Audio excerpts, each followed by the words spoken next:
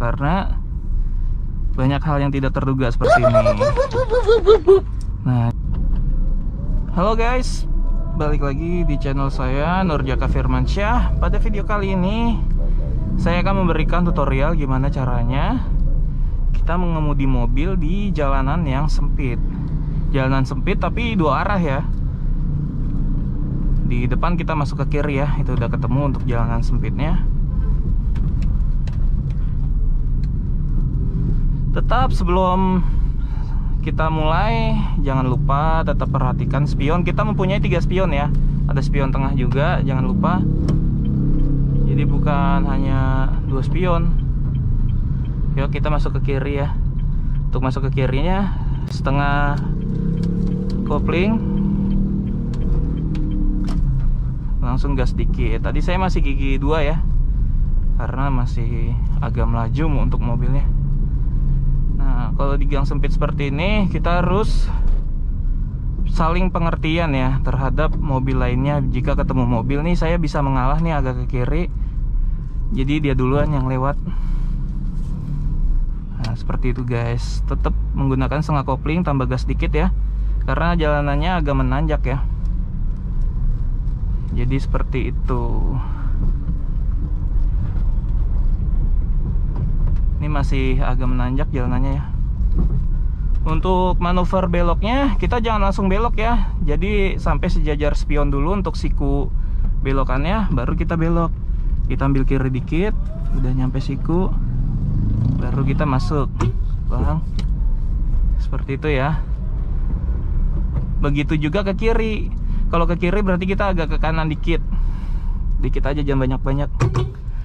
Kodein klakson karena ini merupakan blind spot ya atau titik buta. Kita nggak ngeliat apa yang ada di jalanan ini tadi ya ketika kita belok. Tetap jaga kecepatan paling tidak di bawah 20 ya 20 km jadi jangan terlalu cepat karena banyak hal yang tidak terduga seperti ini nah ini kan saya udah terlanjur masuk jadi mau nggak mau dia yang ngalah ya. Seperti ini ya. Dia minta mundur dulu. Oke ini kita masuk bisa ya? Nah dia agak goyang ke kanan. Sip.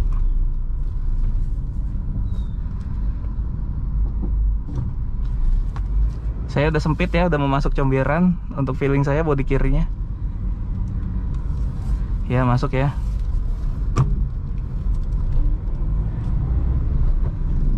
Karena itu tadi ada parit di sebelah kiri jadi saya agak nahan dulu untuk menunggu sikap dari mobil itu tadi. Jadi dia ngalah geser ke kanan dikit ya. Tapi abang yang di belakangnya udah ngasih kode bahwa itu memungkinkan ya. Biasanya seperti itu guys. Ini contoh ya ketika kita ragu kita pelan aja nggak apa-apa pasti nanti ada yang membantu gitu. Entah itu pengendara motor entah itu abang-abang yang lagi duduk nongkrong ya kan? Itu pasti mereka ngasih kode. Oke kita ke kanan ya. Kita kasih kode dulu nih hanya muat satu mobil ya. Jika ada mobil lagi mau nggak mau harus berhenti salah satu. Ini agak digas ya karena agak menanjak jalanannya. Saya masih gigi dua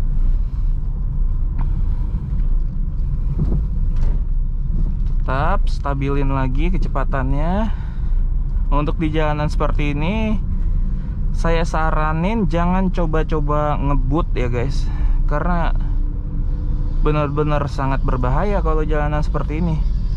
Karena selain sempit banyak motor ada juga aktivitas-aktivitas orang-orang di tepi jalan ya yang tidak bisa diprediksi jadi dia datangnya tiba-tiba misalnya ada yang nyebrang ataupun anak-anak ya. Jadi alangkah baiknya kita kecepatannya stabilin. Emeng lewat. No setengah kopling tambah gas dikit. Ini saya nggak nurunin gigi ya. Tetap di gigi dua. Stabilin lagi kecepatannya kurangi kecepatan dikit.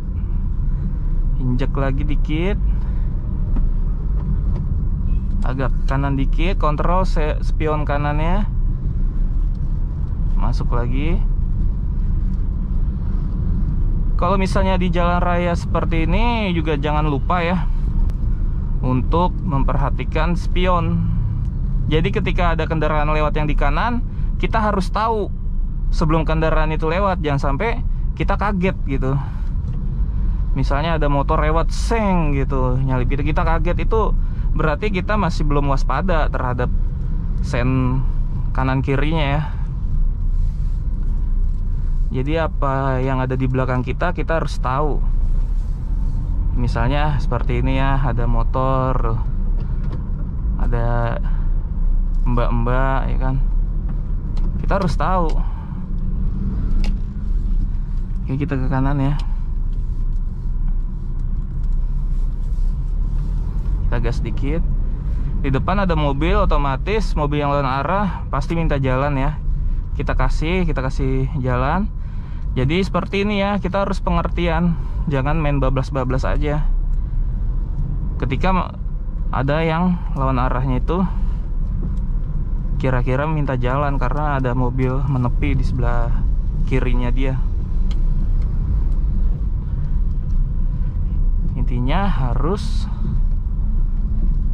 saling mengerti antara pengendara mobil. Kalau misalnya mobil sama mobil mungkin udah enak ya udah kita saling pengertian ya. Kecuali kalau mobil sama motor. Itu yang jos gandos. Bukannya saya menjelek-jelekan pengendara motor ya. Ini realitanya itu motor kebanyakan tidak mau mengalah. Jadi ketika kita bertemu dengan pengendara motor di persimpang di persimpangan atau di penyeberangan dan di mana pun kalau bisa kita harus ekstra mengalah gitu ya guys.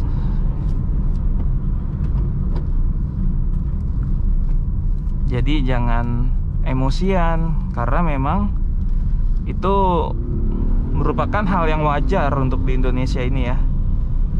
Apalagi ada yang ugal-ugalan yang ngebut geber-geber wah itu sering saya jumpai untuk di jalanan.